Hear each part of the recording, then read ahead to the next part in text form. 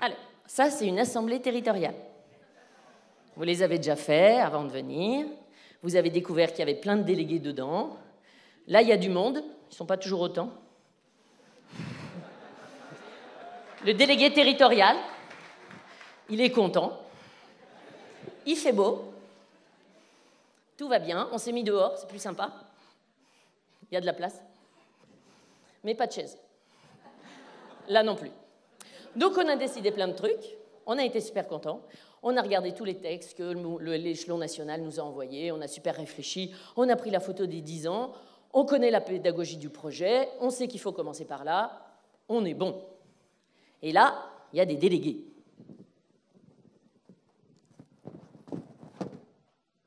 Ça, c'était pour la pluie, mais il n'y aura pas de pluie parce que finalement, il faut aller plus vite.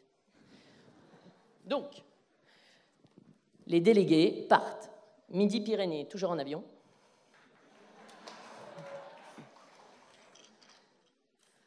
L'Aquitaine, toujours en voiture.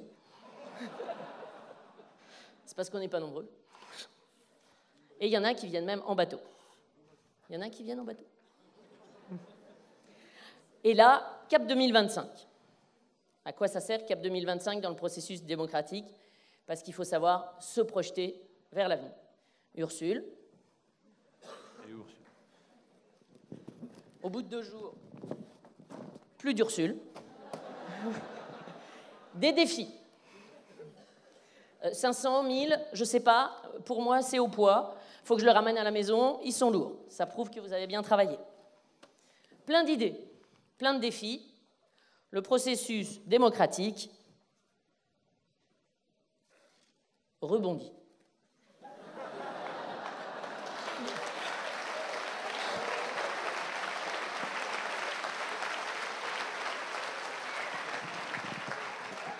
Et là, c'est magique. C'est la G. Alors une AG, c'est quoi? Après CAP 2025. Hop AG 2014. Une AG, c'est quoi? Gilles.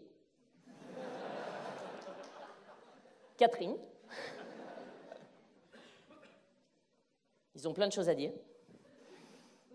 Nous aussi. Ça rouspète. Une résolution. On a quelque chose à dire. On le dit encore. Un petit dernier pour la route. Gilles s'énerve.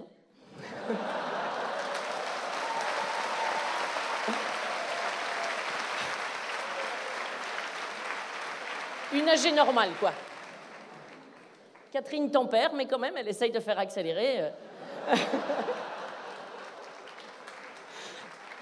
C'est ce qu'elle doit être en train de faire là, mais je la regarde pas. Et alors là, attention, barbatruc, ça redémarre. Bon, on a quand même une petite pause, c'est l'été. Au cas où vous n'auriez rien à faire, euh, on a un camp en Aquitaine, il nous manque des encadrants. Hop Ça revient. Le processus démographique, démographique. Au sud. C'est toujours des rencontres, les âgés.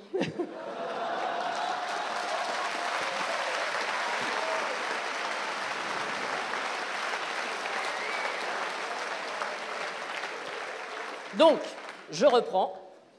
Là, vous voulez passer où l'arrosoir Ah, il arrive. Attends. Vous imaginez? Ah, ben si Regardez, c'est l'automne. du coup, là, en Aquitaine Nord, cette fois, on rentre. c'est le climat océanique. Donc là, il s'est passé quoi? Entre-temps, AG 2014, des gens ont réfléchi, on a fait la photographie, on leur a donné des idées. On est parti en camp, L'échelon national a travaillé, pas de vacances.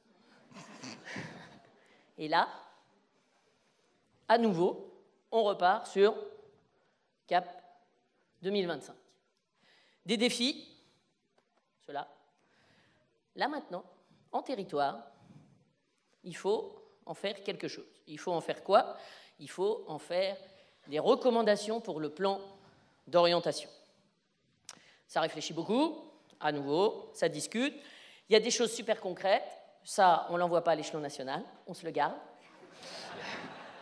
Ça fera plein de trucs pour les années d'après en attendant. C'est toujours bon à prendre. Et là, on a fait nos recommandations. Le processus démocratique est à nouveau en marche. Processus démocratique, ça veut dire qu'avec toutes nos idées, à l'automne, fin d'automne, début hiver, ça va dépendre des gelées, on aboutit à des premières idées de plan d'orientation. Ah non, ça revient. Ploup. Ploup. C'est le mois de mars. Mois de mars, conseil territorial. Oh, J'enlève des gens, il y en a beaucoup moins.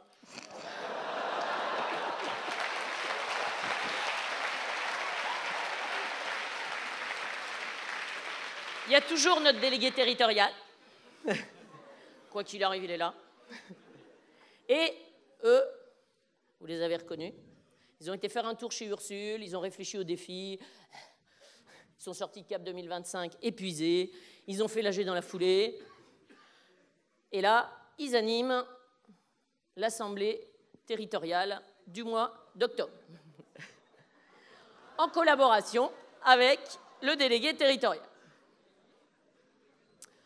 Assemblée territoriale ou une petite réunion d'amis, euh, on verra après quand on l'aura voté comment ça s'appelle. Donc, cette fois, il faut aboutir à des choses vraiment concrètes, définitives, etc. Donc, nos petites recommandations sont Alors là, il y a un petit truc magique, il y aura un euh, petit truc internet pour qu'on envoie toutes nos idées, tout ça, tout ça. Hop, on écrit, on réfléchit, les DT, les délégués territoriaux, se mettent sur le coup aussi. On en rajoute une petite dose, tout ça. Les défis, on les a concrétisés, on est content. Et, et à nouveau, Assemblée générale. Alors là, on en rajoute plein parce que quand c'est plan d'orientation, là carrément, il faudra trois tentes, des chaises.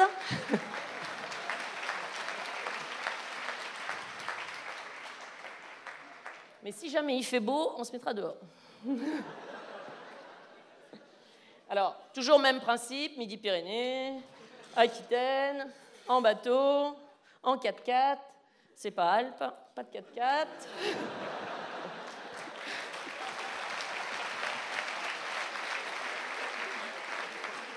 Les derniers arrivants. Et donc là, et ben là, cette fois, il y a encore du boulot. Le plan d'orientation il est peaufiné, l'échelon national est satisfait, c'est l'Assemblée générale, on recommence. Amendement, Gilles, Catherine. À la fin, on vote, et c'est là que le boulot commence pour vous. Parce que c'est pas le tout d'avoir voté le plan d'orientation, c'est pas le tout d'avoir donné votre avis depuis vos premières assemblées territoriales jusqu'à Cap 2025. Ça, c'est le problème de la biodiversité, il y a moins d'arbres. Donc, vous avez participé aux allers-retours successifs démocratiques. Riez pas, c'était mon sujet. Donc les allers-retours démocratiques qui nous permettent d'arriver au super plan d'orientation 2015-2020, qui nous donnera notre feuille de route, notre feuille de réflexion, notre feuille d'action pour les cinq ans à venir. La vôtre, pas, pas celle des foulards de trois couleurs. Bleu, blanc, rouge. La vôtre. Et donc, du coup, eh ben, ça sera à vous de bosser.